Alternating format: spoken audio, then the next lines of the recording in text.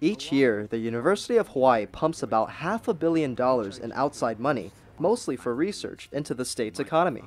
We are in the top quartile of public research universities in this country. And for a state that is only 1.5 million, it is a remarkable accomplishment. But UH President Marcy Greenwood and the university is far from satisfied and has just embarked on an effort to double that amount to a billion dollars a year.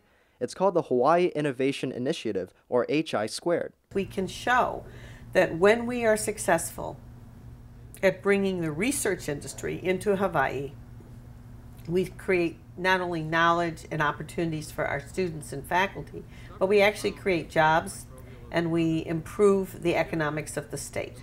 The plan is to use public and private money to hire 50 internationally known, successful researchers over the next five years.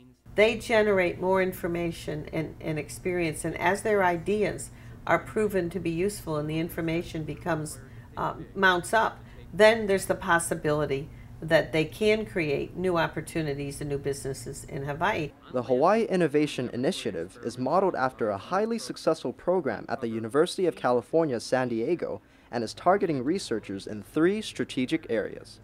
We will strengthen the areas that we were already first rate in so that we don't lose ground and so we can build new efforts.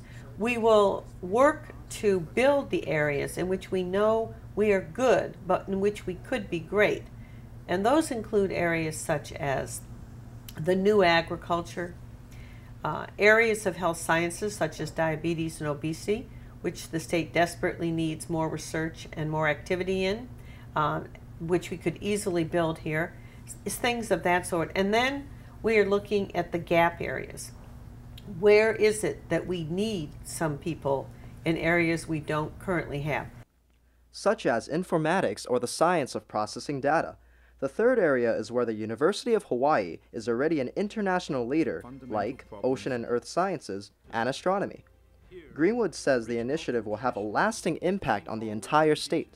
Because it's going to create jobs, it's going to create a future for our children, and because it will hopefully place us as, a, as leaders in areas that we need research for the future, like energy, sustainability, certain health areas, and a dominant uh, position in some of the great physical sciences. UH leadership is currently meeting with community groups and organizations along with business and political leaders to explain and lobby for the initiative. The bottom line message is clear. This is an effort you can support, you should support, because it could determine the future of the state. UH hopes to start bringing in the first of the new world-class researchers in 2013.